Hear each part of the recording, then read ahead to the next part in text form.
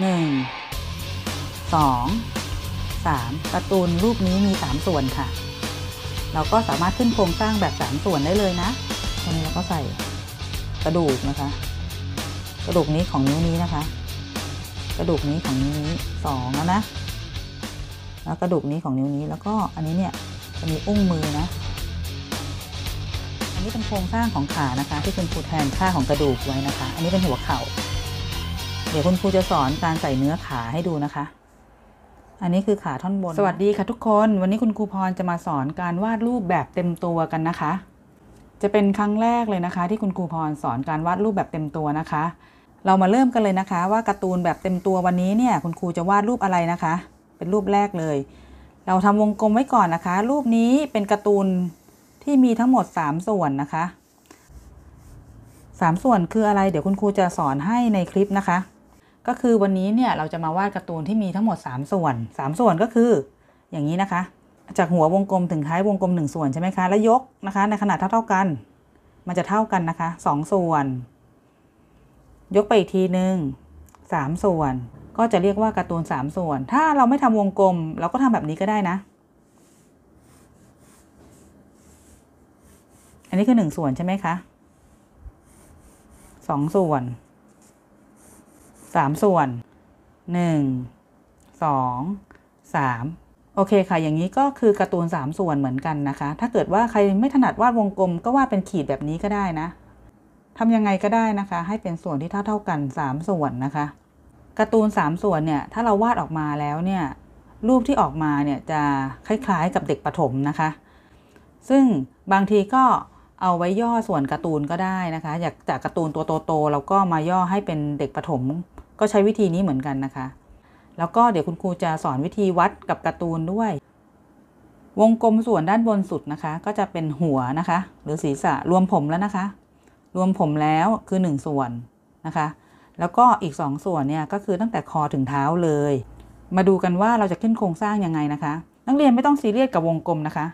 บางคนเนี่ยคุณครูเห็นว่าทำวงกลมอยู่นานก็ไม่กลมก็ไม่เป็นไรนะคะ คุณครูต้องการแค่มันเท่าเท่ากันนะคะ ไม่ใช่แบบนี้นะ อันอย่างนี้คือไม่ได้นะ สมมตินะ สมมตินะ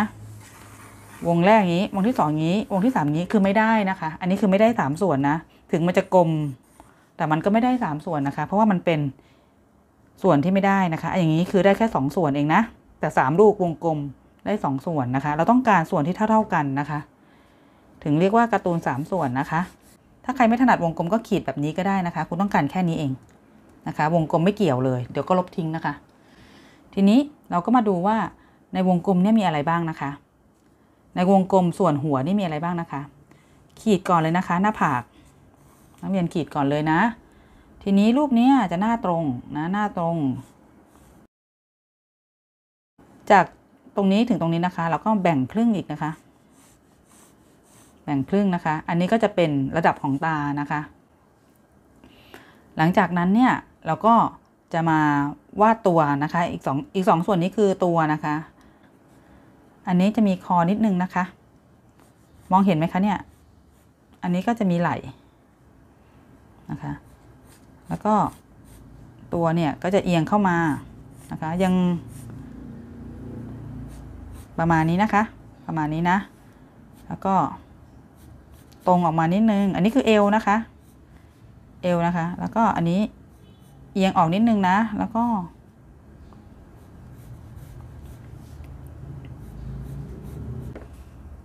อันนี้ก็เป็นส่วนเป้านะคะ อันนี้สำคัญมากนะคะ ก็คือเราต้องได้ตัวเนี่ย แล้วรวมเป้าแล้วเนี่ย เป้ากางเกงเนี่ยให้พอดีกับส่วนนี้นะคะ ไม่เลยนะ ไม่เลยแล้วก็ไม่ขาดนะคะ ไม่อย่างนั้นเนี่ยกร์ตูนเราจะไม่สมส่วนนะ พอเราทำตัวเสร็จแล้วนะคะ เราก็มาต่อขากันนะคะ แล้วก็ขีดลงมาประมาณนี้นะคะ แล้วก็ใส่หัวเข่า ขีดออกมาอีกนะคะ ใส่ข้อต่อข้อเท้านะคะ แล้วก็มาดูว่าภาพนี้เนี่ย เท้าเนี่ยหันไปทางไหนนะคะ แล้วก็ขึ้นโครงสร้างไว้ก่อน โอเค คุณครูขีดเข้มไว้นิดนึงแล้วกัน แต่นักเรียนต้องล่างเบาๆนะคะ คุณครูกลัวนักเรียนไม่เห็นเดี๋ยวเดี๋ยวคุณครูจะมาลบเอา แบบนี้นะ แล้วก็อีกข้างหนึ่งนะคะ จากตรงกลางนี่นะคะ เฉียงออกมาดูความเฉียงนิดนึงนะคะ เฉียงมามากกว่าฝั่งนี้นิดนึงนะ เฉียงขาออกมานะคะออกมาประมาณนี้ ตรงนี้ก็จะมีข้อต่อนะคะ อันนี้เท้าหันด้านตรงนะคะเราก็จะประมาณนี้ อ่า รูปนี้นะคะ แขนก็เฉียงออกมานิดนึงนะคะ จนถึงประมาณเอวนะคะ ใส่ข้อศอกนะคะ แล้วก็เอียงเข้า รูปนี้เขาล้วงกระเป๋าอยู่ เพราะฉะนั้นเราไม่ต้องใส่มือก็ได้นะคะ ต่อไปนะคะ รูปนี้ เขาจะชี้มาข้างหน้า เพราะฉะนั้นตรงนี้นี่คุณครูจะไม่ขึ้นโครงให้นักเรียนสับสนนะ รูปนี้มือเขาจะพุ่งมาข้างหน้านะคะ ประมาณตรงนี้นะ เราวงรีไว้ก่อนก็ได้นะคะ ส่วนต่างๆเนี่ยมีไว้เพื่อให้กะว่าเป้าอยู่ตรงนี้นะ แล้วก็ขาเนี่ยสุดท้ายแล้วเนี่ยก็อยู่พอดีกับวงข้างล่างสุดเลยนะคะ ให้เหยียบพื้นให้ได้นะคะ ก็จะเป็นการ์ตูนสามส่วนออกมาก็จะเป็นเด็กประถมนะ เดี๋ยวคุณครูจะมาวาดหน้าให้ดูกันนะคะ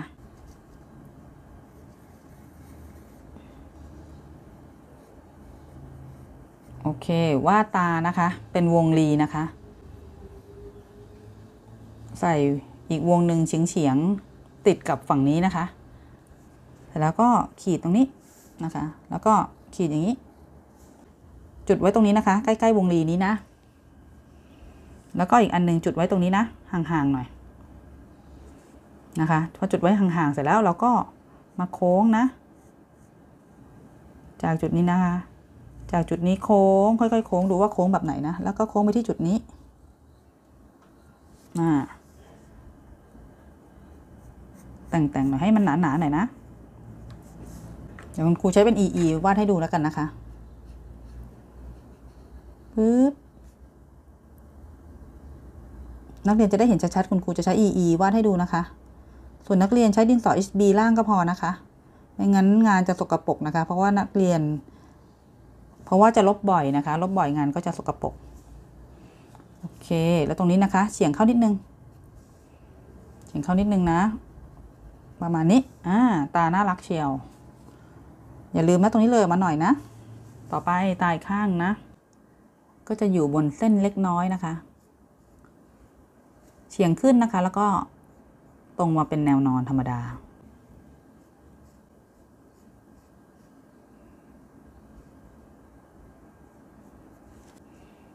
สร็จแล้วก็ใส่จมูกนะคะ ตรงประมาณ ประมาณข้างล่างของตานี่นะคะ ขีดแล้วก็ขีดลงอย่างนี้นะ อันนี้ก็จะมีเบาๆ เป็นเงาของจมูกนะ ตอนนี้คุณครูจะลบเส้นโครงสร้างออกก่อนนะคะ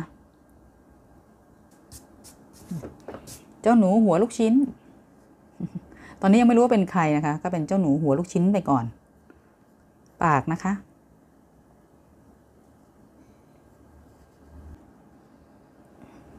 ติ๊กไว้ตรงนี้นะคะ ห่างจากตาประมาณนี้นะ แล้วก็เฉียงขึ้นนะ เฉียงขึ้นประมาณนี้นะคะ ประมาณนี้ แล้วก็อีกข้างหนึ่งนะคะ ติ๊กไว้ก่อนนะ ใกล้ ๆ ตาตรงนี้นะ แล้วก็ประมาณนี้นะคะ ก็ลากเลย มีเส้นตรงเฉียงเฉียงๆยาวๆหน่อยนะ โอเค แล้วก็ค่อยนอนออกไป คิ้วของแต่ละการ์ตูนนี่มันไม่เหมือนกันนะคะ นักเรียนต้องสังเกตให้ดีดูว่ามันใกล้ตรงตาที่เราเสร็จแล้วแค่ไหนนะคะ แล้วเลยออกไปข้างหน้าหรือเปล่า ก็ค่อยๆ ใส่รายละเอียดไปนะ ตรงนี้มีงอขึ้นนิดนิดหน่อย มีเส้นอีกเส้นหนึ่งด้วยแบบขมวดคิ้ว ใกล้อีก เดี๋ยวติ๊กไว้ตรงนี้นะคะ ใกล้ๆตา แล้วก็ฝั่งนี้ก็ใกล้ๆตาฝั่งนี้เหมือนกัน แล้วก็ตรงนี้เป็นคางใช่ไหมคะ เราก็ติ๊กคางไว้ก่อน อ่า เสร็จแล้วนะคะ ตรงนี้เราค่อยๆ เอียงเข้ามานะ ค่อยๆ เอียงเข้ามาทางขวาเล็กน้อยนะคะ พอถึงระดับประมาณจมูกนะคะแล้วก็ค่อยๆ โค้งเข้ามา เพื่อให้พอดีกับคางนะคะ ค่อยๆ ปรับเส้นเข้ามาปึ๊บนะคะประมาณนี้ไว้ก่อนแล้วเดี๋ยวเราก็มาดูความคล้ายนะทำนี้ไว้ก่อนนะ ฝั่งนี้ก็เหมือนกัน เอียงเข้ามาก่อนนะเอียงเข้ามาเล็กน้อย พอถึงประมาณจมูกไม่เกินปากนะนะคะแล้วก็หักมุมเราค่อยๆหักโค้งเข้ามานะคะปึ๊บเป็นคางตรงนี้นะ ที่ผ่านมายังไม่เคยว่าดการ์ตูนเต็มตัวเลยนะคะ ต่อไปนะคะ เดี๋ยวคุณครูลบวงกลมนี้ออกก่อนนะไม่ได้ใช้แล้วนะนะเราปรับใหม่แล้ว แล้วก็เคล็ดลับเลยนะคะเนี่ยนักเรียนอย่าลืม ขีดหน้าผากไว้นะ ถ้าไม่ขีดหน้าผากหัวมันจะโตขึ้นไปอีกเยอะเลย ทีนี้เราก็มาใส่หูนะคะ มาดูว่าหูรูปนี้เนี่ย อยู่ประมาณระดับของตานะ เฉียงออกมาเล็กน้อย แล้วก็มาจิ้มประมาณระดับเดียวกับปากนะ จิ้มไว้ก่อนติ๊กไว้ก่อน เฉียงมาปุ๊บประมาณนี้ ใส่รายละเอียดข้างในค่ะ อืม ต่อไปอีกฝั่งหนึ่งก็จะหูเท่า ๆกันนะปื๊ดอะประมาณนี้ติ๊กไว้ก่อนประมาณปาก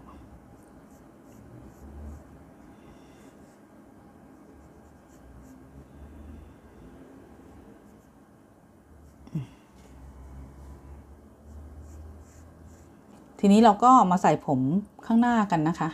เอาผมเส้นนี้ก่อนแล้วกันนะ ผมเส้นนี้เป็นผมบางๆ จิ้มมาที่ผ่านคิ้วแล้วก็มาที่ตานะ แล้วก็ขึ้นไป อ่า เราจะมาเริ่มที่ผมเส้นนี้ก่อนนะ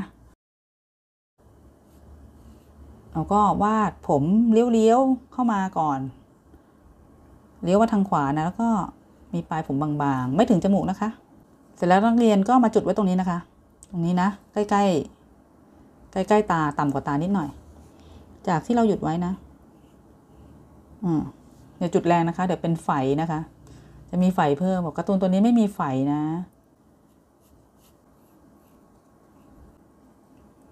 ต่อไปก็โค้งเข้ามาตรงหัวคิ้ว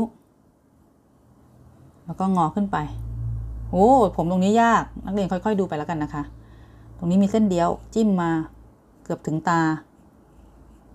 เส้นบางๆนะเกือบถึงตา นักเรียนต้องดูว่ามันเกือบถึงตรงไหน ต่อไปก็ตรงหางตานะคะ จุดไว้ด้านบน จากที่หยุดไว้นะคะ โค้งมา แล้วก็ขึ้นไปอีกประมาณนี้เลยคิ้วมาหน่อย เดี๋ยวคุณครูจะคอยบอกให้นะคะ นักเรียนจะได้แบบคอยเช็คด้วย อันนี้พอดีนอนไปกับคิ้วนะคะ แล้วก็ประมาณนี้ตรงนี้ก่อนนะ ตรงนี้ก่อนนะ ตรงนี้มันจะเลี้ยวเข้ามาข้างในนะ ถ้าเป็นเส้นตรงก็คือประมาณนี้ของตา นักเรียนก็เช็คแบบนี้นะ ต่อไป จากที่หยุดไว้นะ มันจะลงมาจิ้มตรงนี้ ค่อยๆโค้ง แล้วก็มาจิ้มตรงนี้ให้ได้นะ อะไรกันเนี่ย เยอะแยะมากตรงนี้ มันจะยากกว่าไอ้ตรงนี้แหละ นะ เอาเข้าไป เสร็จแล้ว จิ้มมาปิดตรงนี้จบแล้วนะเนี่ย จบแล้วนะคะ ผมข้างหน้าฝั่งขวาต่อไป ไปผมข้างหน้าฝั่งซ้ายกันต่อ อันนี้ไม่ยาก จิ้มไว้ตรงนี้นะ จากที่หยุดไว้นะคะ โค้งมาจิ้มไว้ตรงนี้ นักเรียนล่างเบาๆไว้ก่อนนะคะปุ๊บเอาให้แหลมนะ ต่อไปอันนี้ต่อไปนะคะ อันนี้ก็โค้งเข้ามา โค้งเข้ามา โค้งเอียงเข้ามาในตานิดหน่อยนะ แล้วก็โค้งออกไปมาจิ้มไว้ตรงหน้าผากนะคะ หน้าผากเนี่ยสำคัญมากเลยนะ เราจะได้รู้รู้ระดับนะ อันนี้เนี่ย ข้างๆหน้านี้เลย แล้วก็อันนี้นะ ลากออกไปนะคะ แล้วก็โค้งขึ้นเล็กน้อยนะ ประมาณนี้นะคะเฮ้ยหน้าเริ่มเหมือนแล้วนะเนี่ย เดี๋ยวคุณครูจะลบด้านบนออกก่อนนะนิดหนึ่งทีนี้เราจะมาสร้างวงกลมใหม่อีกวงหนึ่งนะวงกลมนี้เนี่ยมันจะประมาณที่หัวด้านบนนี่นะคะ แล้วก็ตรงนี้เนี่ยมันจะโค้งเข้ามา โค้งเข้ามาแล้วก็ มาจิ้มตรงนี้เห็นไหมคุณครูจะเบาๆไว้ก่อนนะคะ เพราะว่าตรงนี้มันจะมีผมกระดกไปกระดกมา เพราะฉะนั้นเดี๋ยวมันจะถูกทำลายนิดหน่อยนี้เราวาดไว้นิดหน่อยก่อนนะคะต่อไปนะ เอาจากตรงนี้ก่อนที่เราหยุดไว้นะอันนี้ก็จะมีผมเส้นหนึ่งกระเด้งออกมาเกือบถึงหู แต่ครูจิ้มไปแล้วล่ะ เกือบจิ้มหู ประมาณจิ้มหูนะ ไป อันนี้ ดูสามเหลี่ยมที่เหลือนี่ด้วยนะ สามเหลี่ยมด้วยนะ ว่ามันใกล้ไกลยังไง ต่อไปนะ ตัวนี้หนาหน่อย หนาหน่อยหนาหน่อย เข้ามาจิ้มไว้ตรงนี้ คุณครูจะค่อย ๆ บอกนักเรียนไปนะ ต่อไป อันนี้นะ คือถ้าเรามีโครงสร้างแล้วมันจะไม่ยากใช่ไหมคะ เหมือนหลาย ๆ รูปที่คุณครูพรสอนไปเนี่ย พอเราใส่โครงสร้างแล้วเนี่ยผมมันก็จะจัดทรงง่ายขึ้นนะคะ ไม่งั้นเราจะจัดทรงยาก คุณครูก็จะสอนให้มีโครงสร้างไว้ก่อนนะคะ โครงสร้างก็จะสำคัญตรงนี้แหละ ไม่งั้นผมมันก็จะไม่รู้ทิศทางนะ บางทีก็ยาวเกินไป โอเคนนี้ก็แต่งความโค้งหน่อย โอ้โอไม่ถนัด ตรงนี้นักเรียนต้องหมุนกระดาษช่วยนะครูหมุนไม่ได้แล้วว่าตั้งตั้งกล้องไว้นะ ประมาณจากตรงนี้นะ โอเค ตั้งขึ้นไปนะ แล้วก็เฉียงลง แล้วยังไง แล้วก็ลงมาอืมนี่ตรงนี้ยากแฮะ เหมือนจะง่ายแต่ยาก เอาใหม่ ตรงนี้ตั้งขึ้นไป ตั้งขึ้นไปสูงหน่อย แล้วก็เฉียงเยอะหน่อย แล้วก็เอาลงมา อ่า ประมาณนี้ แล้วก็ตรงขึ้นไปผอมๆลงมา แล้วก็จิ้มกับเส้นวงกลมที่เราวงไว้นะ อันนี้ก็เข้ามาตรงใกล้ๆหูตรงนี้นะอ่าหล่อแล้วอ่ารูปเหมือนตอนโตเลยนะอ้ยใครดูออกมั่งคะว่าเป็นโคนันคุงนะ ใครดูไม่ออกเดี๋ยวคุณครูใส่แว่นให้ ถ้าใส่แว่นโคนันคุงก็จะดูออกมากขึ้นอีกนะคะ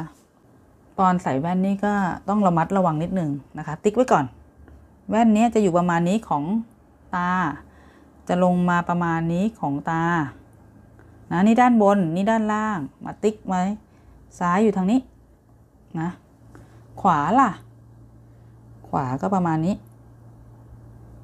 ประมาณนี้นะ เลยหน้าไปนิดนึงทีนี้เราก็มาแต่งกัน ด้านบนเนี่ยเขาจะตรงๆหน่อยล่างไปก่อน ล่างมันเส้นตรงแนวนอนไปก่อน พอเลยตามานิดนึงแล้วก็โค้งนิดนึงอืมโค้งนิดนึงนะอ่าแล้วก็ตรงนี้ก็โค้งไปแตะกับ ส้นที่เราติ๊กไว้นะคะ ตรงนี้มันตรงนี้ใช่ไหม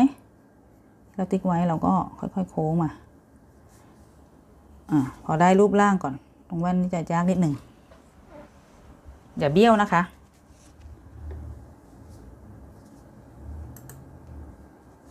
ตรงนี้ระวังเบี้ยวกันนะคะ ต่อไปฝั่งนี้นะ ฝั่งนี้เนี่ยก็ติ๊กไว้ตรงนี้หนึ่งอัน ต่อไปก็ ติ๊กไว้ตรงนี้นะประมาณ ขอบหน้าพอดี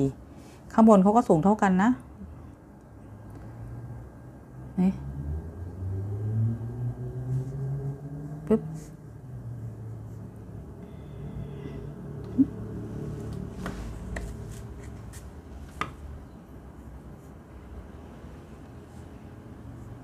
ข้างบนก็ประมาณนี้นะข้างล่างก็ประมาณประมาณเดียวกันนะ ติ๊กไว้ก่อนความสูงเขาจะเท่า ๆกันนะคะ ค่อยๆ โค้งนะ จะงงๆนิดนึง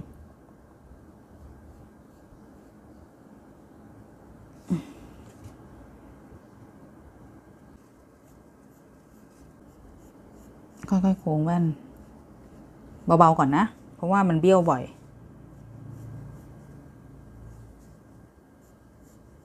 ขนาดครูทำบ่อยๆยังเบี้ยวเลย โอเค พอเราได้ทรงแว่นแล้วเนี่ย เราก็มาใส่ความหนาของกรอบแว่นด้านบนนะคะ ให้หนาหน่อย มีแค่ด้านบนนะคะที่จะหนาหน่อย ทับคิ้วไปหมดเลย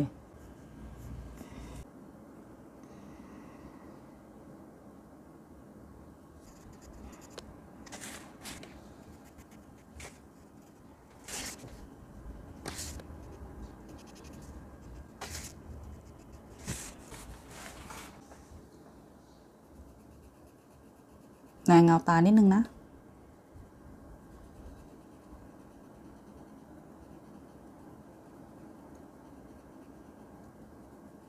ข้างบนให้เป็นดำๆนะ แล้วก็มีขีดสีขาวนี่เว้นไว้นะ ไม่ต้องแรงเงา หน้าของโคนันคุงก็เสร็จเรียบร้อยแล้วนะคะ ทีนี้ก็มาทำตัวนะคะ คุณครูอยากให้นักเรียนอะขีดเส้นนี้ก่อน อ่า อยากให้ขีดเส้นนี้ก่อนนะคะ เพราะว่าเขาจะยืนตัวเอียงๆนิดนึง อันนี้ก็คือแกนของตัวที่เอียงนะคะ แกนเนี้ยก็จะขีดมาถึงเป้านะคะ ขีดเบาๆนะคะ จริงๆแล้วไม่ได้ใช้ แต่ว่ามันจะเป็นหลักให้เรารู้ว่ากระดุมหรือว่าโบเนี่ยตรงกลางอยู่ตรงไหนนะคะ นักเรียนดูนะคะว่าตรงนี้เนี่ยฝั่งนี้จะน้อยนะคะ ฝั่งนี้จะเยอะ เพราะว่าเขาเอียงข้างนิดนึงเดี๋ยวคุณครูลบมือออกก่อนนะคะ เพราะว่ามือเนี่ยเดี๋ยวมันจะต้องขยับตามตัวนิดนึงเราออกไปก่อนนะเฉียงเข้านะคะ ตรงนี้ก็เฉียงขึ้น นะคะ ก็จะเป็นคอเสื้อนะ ตรงนี้ก็อ้าออก ตรงนี้ก็อ้าออกนิดนึงนะคะ แล้วก็ตรงตรงกลางนะคะ ลงมาอีกหน่อยหนึ่ง มันก็จะเป็นแกนกลางของโบเสื้อเขานะคะ เขาจะมีผูกโบสีแดงอยู่นะ พอพอเราได้แกนกลางแล้วก็ทำปีกโบนะคะ ออกมาจากแกนกลางเลย ใส่เงาตรงโบนะคะ ทำโบอีกข้างนะคะ เฉียงขึ้นแล้วก็เลยปกมาหน่อยแล้วก็แนวนอน เอียงลง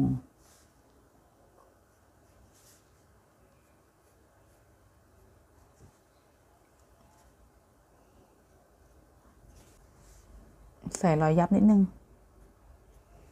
โอเค รอยขอบของเสื้อนะคะ ขีดตรงลงมานะสองเส้นเส้นคู่นะแล้วก็รอยยับปึ๊บอ่าประมาณนี้พอผ่านรอยยับ ลบเส้นกลางออกนิดนึงนะพอดีมันจะคล้ายๆกัน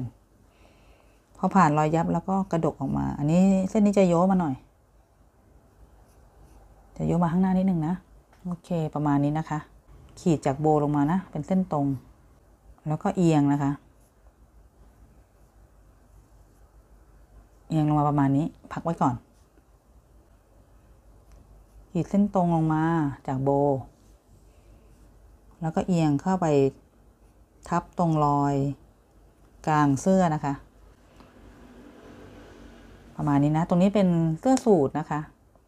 ที่ไขว้กัน เป็นปกสูตรนะ ขีดลงมา ขีดแนวนอน แล้วก็ค่อยๆลงมาทับกับเส้นนี้ที่หยุดไว้เฉียงขึ้น ตรงนี้ปีนขึ้นไปข้างบนนะคะ เลยไหลขึ้นไปนะคะ ข้างบน อืมประมาณนี้นะ ต่อไปข้างนี้นะ ประมาณนี้ แล้วก็ลงมาประมาณนี้ขีดเข้ามาปุ๊บอืมประมาณนี้นะ ก็เป็นเสื้อสูทนะคะ โอเค ทีนี้เราก็ขีดเสื้อตรงนี้นะคะ ตรงลงมานะ เลย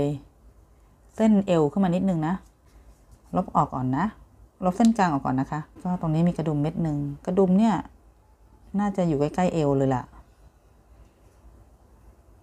ตรงนี้หยุดไว้ก่อนนะคะ ก็มาทำไหล่ทางนี้ก่อน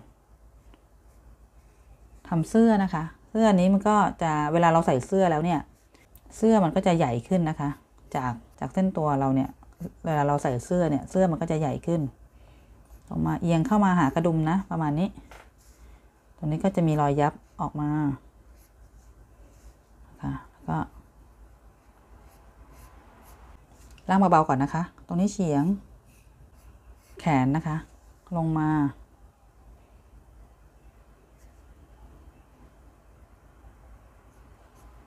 เป็นรอยยับนะคะ เดี๋ยวเราลบข้อศอกเก่าก่อนนะ แต่ว่าตรงนี้แหละ เป็นแนวข้อศอก เมื่อกี้ข้อศอกแนวมันก็จะหักมุมอยู่แถวๆนี้นะคะ ตอนนี้เสื้อเขาจะยับเยอะนะ ถึงตรงแนวเดียวกับข้อศอกแล้ว ก็เอียงเข้า อันนี้จะเป็นข้อศอกของการ์ตูนที่อยู่ข้างในนะคะ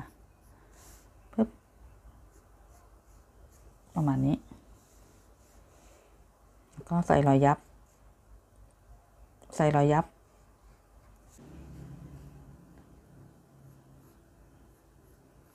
ให้ นักเรียนล่างวงรีนะคะ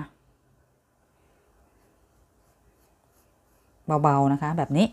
ใกล้ ๆ กับโบนะคะ แล้วก็ห่างจากคอประมาณเท่านี้นะ ให้เราล่างวงรีประมาณนี้ เสร็จแล้วเราจะเปลี่ยนวงนี้เนี่ยให้เป็นมือนะคะทำนิ้วโป้งก่อนนะ นิ้วโป้งเนี่ยเขาจะสูงระดับเดียวกับปากนะคะ โค้งประมาณนี้นะ แล้วก็ตรงนี้โค้งอ้วนๆออกมาทางนี้ ตรงนี้โค้งตามกัน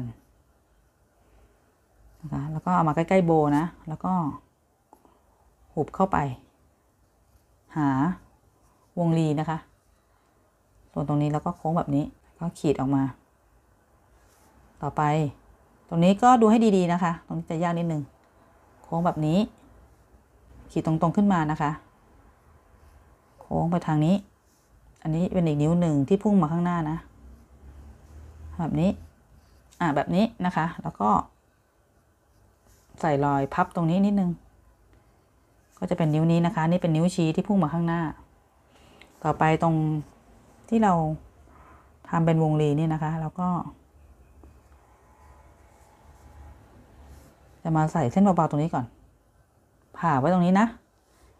แล้วเราก็หนึ่งนะคะสอง ก็สามเมื่อกี้คุณครูแบ่งไม่เท่ากัน ก็เลยมีรอยลบนิดนึงนะมาถึงตรงเส้นที่เราขีดไว้นะคะ เราก็เอียงลงเอียงลงเอียงลง อันนี้ไม่เอียงลงนะคะ ตรงๆธรรมดา แล้วก็โค้ง ปิดนะคะ ปิดนิ้ว แล้วก็ขีดตรงนี้นิดนึงสั้นๆหนึ่งสองสาม ตรงนี้มันมีพื้นที่เหลือนะ เดี๋ยวเราลบออกก่อน ไม่จำเป็นต้องเต็มวงรีนะคะ เพราะว่าวงรีหรือเส้นโครงสร้างเนี่ย มันเป็นเส้นที่เราเอาไว้กะให้มันใกล้เคียงนะคะ ตรงนี้ก็ประมาณ ประมาณตรงปกนี้นะคะ เสร็จแล้วก็ ตรงนี้เราก็ใส่กระดูกนะคะ กระดูกนี้ของนิ้วนี้นะคะ กระดูกนี้ของนิ้วนี้สองแล้วนะ แล้วกระดูกนี้ของนิ้วนี้แล้วก็อันนี้เนี่ยจะมีอุ้งมือนะ อ่า ก็พอดีกับใกล้เคียงกับวงรีที่เรากำหนดไว้นะ เดี๋ยวลบตรงที่นิ้วโป้ง ลบตรงเส้นหน้าที่นิ้วโป้งทับอยู่นะ นิ้วโป้งทับอยู่ก็จะไม่เห็นเส้นหน้าล้วปึ๊บ แบบนี้นะ โอเค พอยกนิ้วขึ้นแล้วก็บอกว่า คำตอบมีเพียงหนึ่งเดียว ไปที่ไหนมีคดีที่นั่นคนนั้นไปงานเลี้ยงไปอะไรที่ไหนนี่จะต้องเจอคนตายทั้งนั้นเลย เวลาถ้าคุณครูมีงานเลี้ยงคุณครูจะไม่เชิญโคนันไป กลัวมีคดี อันนี้ก็เป็นเสื้อสูทอีกข้างนะ นะ อันนี้เป็นไหล่ไหล่แล้วก็เดี๋ยวครูลบเส้นวงกลมออกนะ อได้มือแล้วเนี่ย เราก็มาใส่จากตรงนี้นะ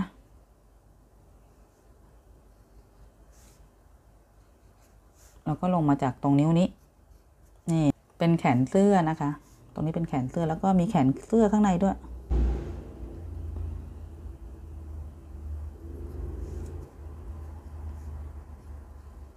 นะ มันมีสองสีนะ มีสีขาวกับสีน้ำเงิน ต่อไปตรงนี้ เฉียงมาทางนี้นะคะ แล้วก็ตรงนี้จากนิ้วที่สองนะ ออกมาตรงนี้ ก็เป็นแบบนี้ แล้วก็หักมุมเข้ามา ตรงนี้ก็เป็นข้อศอกนะ ตรงนี้ก็มีรอยยับ สามเหลี่ยม แล้วก็ขึ้นไปนะคะ แล้วก็หักมุมเข้ามาที่นิ้วชี้ตรงนี้นะ เป็นแบบนี้ อ่า ก็เป็นมือที่พุ่งมาข้างหน้านะคะ โครงสร้างเนี่ยสำคัญมากเลยนะคะ พอเรารู้จักกับโครงสร้างแล้วนะคะ เราก็จะวาดรูปได้ง่ายขึ้นมากนะคะ อันนี้ก็จะเป็น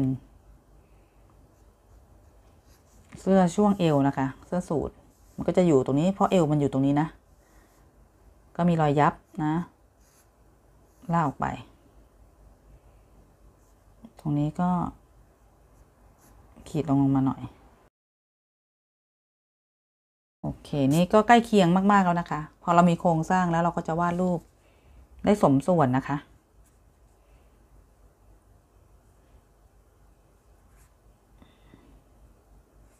รอยยับรอยยับ ขีดรอยพับนะคะ ของกางเกง อใกล้ๆจะถึงเสื้อตัวนี้นะ แล้วก็ขีดตรงๆลงมา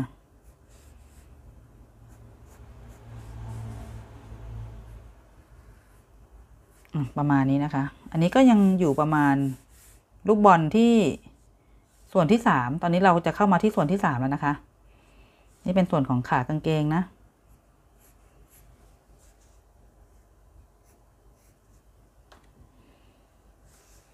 ตัวนี้น่าจะยืดออกไปอีกหน่อย ให้มันแหลมๆหน่อยประมาณนี้นะ นักเรียนก็ล่างเบาๆก่อนนะคะ เพราะว่าบางเส้นยังอาจจะต้องลบแล้วก็ปรับใหม่อยู่ตลอดนะคะ อันนี้เป็นโครงสร้างของขานะคะ ที่คุณครูแทนค่าของกระดูกไว้นะคะ อันนี้เป็นหัวเข่า เดี๋ยวคุณครูจะสอนการใส่เนื้อขาให้ดูนะคะ อันนี้คือขาท่อนบนนะ ใส่อันนี้คือขาบนนะคะ วนรอบ กระดูกหัวเข่านะคะ เสร็จแล้วซ้อนด้วย ขาล่างนะคะ วนตามข้อต่อลงมาเลยนะ ประมาณนี้นะ ขั้นตอนนี้ทำเบาๆนะคะ ดูขนาดดูความใกล้นะคะ ที่เราวางโครงสร้างกระดูกไว้เนี่ย มันก็ใกล้เคียงนะคะ แต่ถ้าเราไม่ใกล้เคียงเราก็ต้องขยับนะคะ ให้ดูที่แบบเป็นสำคัญนะคะ โครงสร้างนี่มีไว้ช่วยนะคะ วนนะคะ อันนี้เป็นวิธีของครูพรนะคะ อันนี้ก็จะกลายเป็นน่องก็จะลงมาประมาณนี้ ตรงนี้ก็จะเรียวลงนะ ทีนี้ประมาณตรงนี้นะเขาก็จะใส่ถุงเท้า ก็จะมีรอยยับออกมานะมันก็จะหนากว่าขาเรา สมมตินี่คือขาเราข้างในใช่ไหมคะ ใส่ถุงเท้ามันก็จะหนาขึ้นนนี้คล้ายๆรูปหัวใจเลย หัวใจอ้วนๆแบนๆ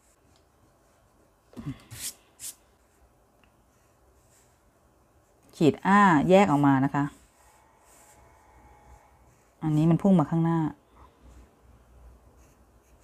แล้วก็เอาตรงนี้นะ มารับนะ แล้วก็โค้งลง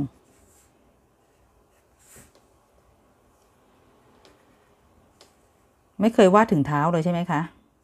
เวลาเรียนกับครูพร คลิปที่ผ่านมานี่ยังไม่เคยวาดถึงเท้าเลยนะ อ่าอันนี้วาดถึงเท้าเลยนะ อันนี้จากตรงช่วงนี้นะคะ มีสี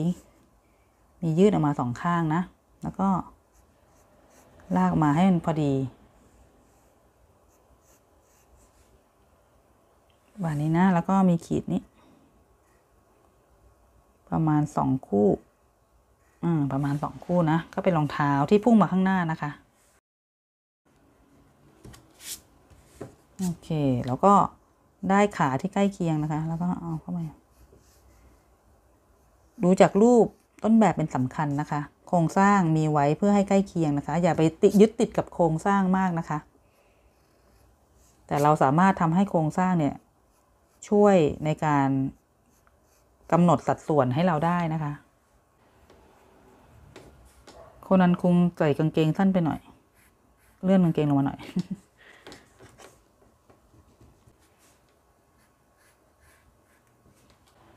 โอเค ก็ใกล้เคียงนะคะ รูปที่คุณครูพรวาดสอนก็จะใกล้เคียงกับแบบนะคะ จะไม่ได้เหมือนเป๊ะๆมากนะคะ ถ้านักเรียนรู้สึกว่าตรงไหนที่มันไม่เหมือนก็ปรับปรุงเปลี่ยนแปลงได้นะคะ เพราะว่าคุณครูอะเวลาวาดสอนเนี่ยคุณครูก็จะต้องแบ่งสมาธิในการพูดสอนด้วย เพราะฉะนั้นก็เลยอาจจะวาดแล้วมีความผิดเพี้ยนไปบ้างนะคะ พยายามดูให้มันเท่ากันกับฝั่งนี้นะคะ ทำระดับให้ถุงเท้าก่อน ยื่นออกมาถุงเท้านะถุงเท้าก็จะยื่นออกมามีรอยยับ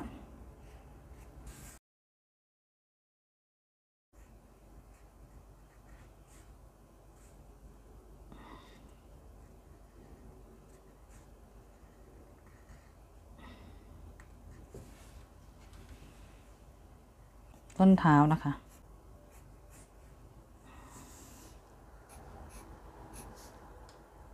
ออกมาซ้ายขวานะคะ อันนี้คือแกนกลางของรองเท้าที่เราเคยวาดไว้ มันก็จะใกล้เคียงนะคะ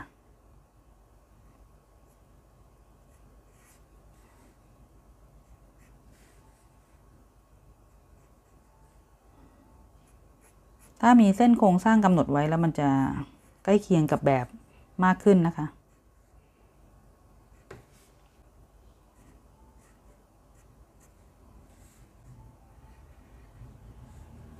วงรีนะคะ แล้วก็มีความหนาแบบนี้ อ่า ลืมผูกเชือกรองเท้าให้เลย ไม่มีเชือกรองเท้าด้วย ฝั่งนี้ก็มีนูนออกมา นี่มีเชือกห้อยมา โอ้ยฝั่งนี้ก็ลืม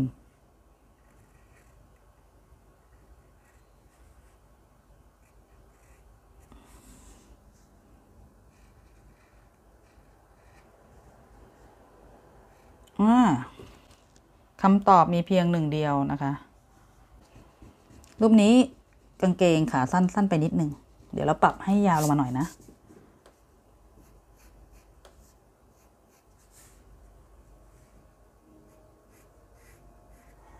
อืม นักเรียนที่ร่างเบาๆไว้นี่ ตอนนี้ก็ แก้ง่ายหน่อยนะคะ คุณครูใช้ EE ก็เลยเข้มไปหน่อย อ่าประมาณนี้นะ น่ารักละ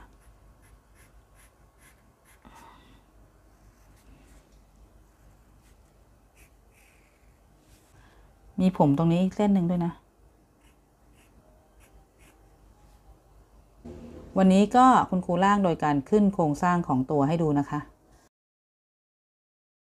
เนื้อหาของวันนี้เนี่ยก็จะมีการขึ้นโครงสร้างตัวนะคะ เป็นแบบการ์ตูนแบบสามส่วนนะคะ เพราะว่าการ์ตูนในต้นแบบเนี่ยเขาก็จะเป็นการ์ตูนแบบสามส่วนด้วยนะคะ อันนี้ใส่แสงเงาไว้ก่อนนะกำหนดไว้ก่อน เดี๋ยวเราจะแรงเงานิดหน่อย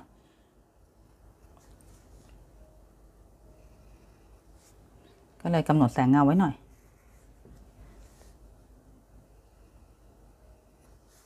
หวังว่านักเรียนก็จะทำตามกันได้นะคะ นักเรียนคนไหนทำไม่ทันนะคะ ก็กดหยุดไว้นะคะ แล้วก็เลื่อนกลับไปในส่วนที่เราทำไม่ทันนะคะ ลองย้อนไปดูใหม่นะคะ แล้วก็คนไหนที่ทำวาดออกมาแล้วสวยแล้วก็อยากจะส่งให้คุณครูพรดูก็ส่งมาให้ได้ที่เพจ Facebook นะคะ ชื่อ สอนศิลปะ Think About Art Major ปิ่นเกล้านะคะ ตัดเส้นรอบนอกนะคะ ให้เข้มๆหน่อยนะคะ ทั้งภาพเลย ถึงตอนนี้ใครอยากจะระบายเป็นสีไม้ก็หยิบสีไม้มาระบายได้เลยนะคะ คนไหนอยากจะแรงเงาเป็นขาวดำเหมือนคุณครูก็ใช้ดินสอ HB ก็ได้นะคะ หรือว่าจะใช้ดินสอเข้มขึ้นมาหน่อยสัก 2B ก็ได้นะคะ ถ้าใครมี EE ก็ใช้ EE ก็ได้ เราก็จะแยกน้ำหนักกันนิดหน่อยวันนี้ก็แรงเงาไม่เยอะนะ เดี๋ยวคุณครูจะ x ไว้เลยนะคะ ตรงนี้นะ ตรงนี้นะ ตรงนี้แล้วก็ตรงนี้นะคะ ตรงไหนที่คุณครู x ไว้นะคะ ก็แรงเงาสีดำได้เลย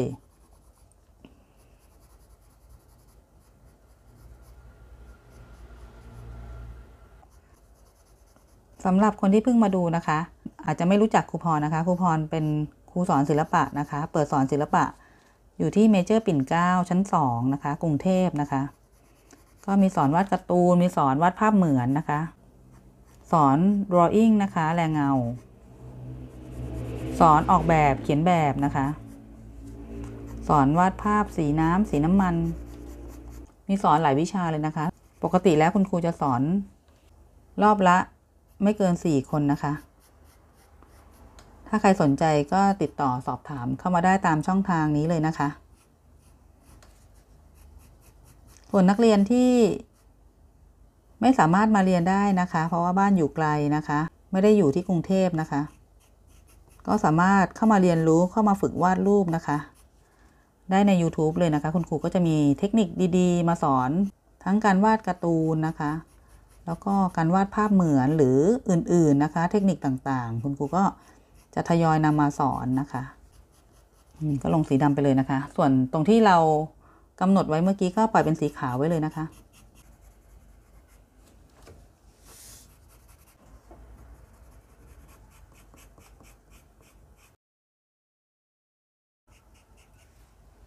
โอเค น่ารักเลย อ้าว ลืมตรงกลางแว่นเลยนะเนี่ย อยู่ระดับตาด้านบนนะคะ ผมทับพอดีเลย อ่าสีเนื้อตรงหน้านี่เราปล่อยเป็นสีขาวนะคะ ส่วนในหูกับตรงคอเนี่ยเราก็แรงเงาเบาๆไว้ เป็นเงานะ เป็นเงาของสีเนื้อเนี่ย ตรงนี้จะมีเงาของสีเนื้อนิดนึง ตรงหักมุมของนิ้ว ตรงข้างใต้อุ้งมือนะเราก็ทำเป็นสีเทาอ่อนๆไว้ อันนี้ก็ลงเข้มหน่อยเป็นสีน้ำเงิน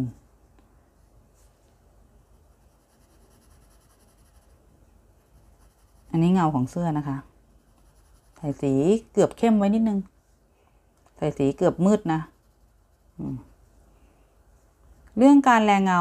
แยกน้ำหนักเนี่ย ระดับต่างๆของการแรงเงาเนี่ย ถ้าเกิดใครสนใจเนี่ยคุณครูก็มีสอนไว้ในคลิปก่อนหน้านี้แล้วนะคะ อันนี้แรงเงาเบาๆ ลองเข้าไปดูในช่องนะคะ คุณครูพรก็มีสอนวาดรูปไว้เยอะเลยนะคะ แล้วก็แต่ละคลิปเนี่ยก็จะมี เคล็ดลับดีๆ มาสอนกันนะคะ แต่ละคลิปก็สอนไม่เหมือนกันนะคะ เสื้อขาวนะคะ ตรงนี้ก็จะมีเงานิดหน่อย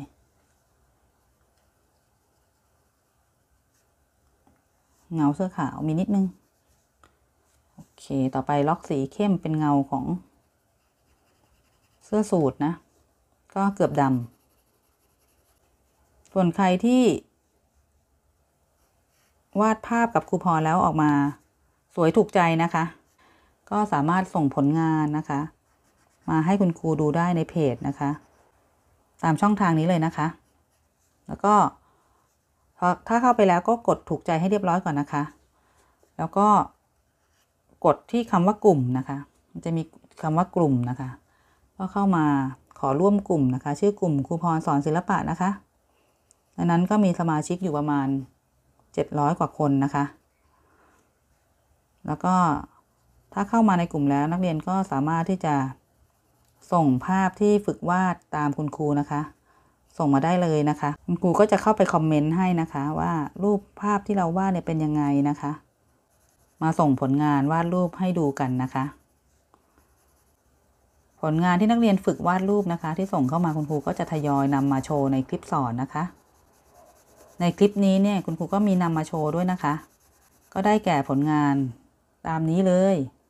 อันนี้เราจะเบาน้ำหนักหน่อยนะคะ จะได้เป็นสีของแสงของเสื้อสูทนะคะ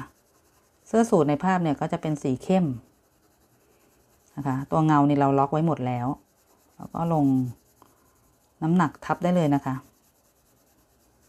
ตรงเงาเขาก็จะไม่ไปไหนนะเขาก็จะอยู่ตรงนี้แหละ ถ้าเกิดว่าเราไม่ล็อกไว้บางทีเราอาจจะลงแล้วเงาหายไป แล้วก็อาจจะต้องมาล่างใหม่นะคะ กางเกงเขาเนี่ยสีอ่อนกว่าเสื้อ พยายามแรงเงาให้อ่อนนะคะ ตรงนี้มีเงานิดนึง ฝึกแรงเงาบ่อย ๆ นะคะ มันก็จะช่วยในการสังเกตแล้วก็เวลาเราระบายสีไม้เนี่ย ถ้าเราฝึกแรงเงาบ่อย ๆ เราก็จะระบายสีไม้สวยด้วย อันนี้ก็จะเป็นเงาของกางเกงที่ทับกับขานะคะ ไล่จากด้านบนกางเกงลงมาข้างล่างซอฟๆหน่อย เวลาเสื้อทับกางเกงก็จะมีเงาข้างใต้ ของที่ถูกทับก็จะมีเงาข้างใต้นะคะ ใต้รอยยับก็จะมีเงานิดหน่อย นิดเดียว เสร็จแล้วนะคะเนี่ย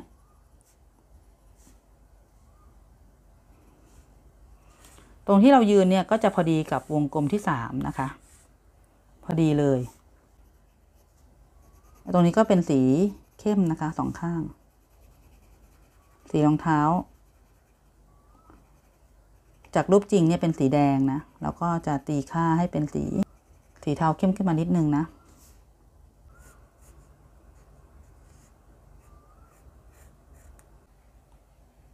โอเค คุณครูวาดเสร็จเรียบร้อยแล้วนะคะ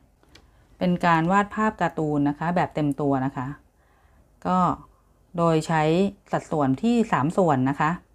นี่นะคะ เวลาที่เราจะวัดส่วนนะคะ ว่าการ์ตูนเนี่ยมีกี่ส่วนให้เราวัดอย่างนี้นะคะ จากศีรษะด้านบนถึงคางนะคะ เท่ากับ 1 ส่วนนะคะ แล้วก็ยกขึ้นมานะ วัดต่อจากที่เมื่อกี้เราวัดค้างไว้นะคะ เท่ากับ 2 ใช่ไหมคะ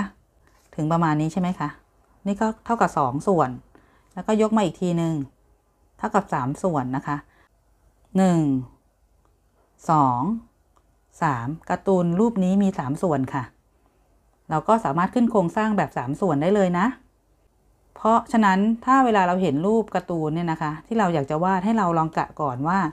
การ์ตูนรูปที่เราจะวาดเนี่ยมีกี่ส่วนแล้วเราก็ขึ้นโครงสร้างก่อนนะคะ ไว้ถ้ามีโอกาสในคราวต่อไปนะคะ คุณครูก็จะมีการขึ้นโครงสร้างของการ์ตูน action ต่างๆ ให้ดูด้วยนะคะ ถ้ายังไงก็ กดติดตามไว้นะคะ จะได้ไม่พลาดนะคะ ว่าคุณครูมีคลิปอะไรมาสอนบ้างนะคะ อย่าลืมกดติดตามไว้นะคะ แล้วเจอกันใหม่ในคลิปหน้านะทุกคน บ๊ายบาย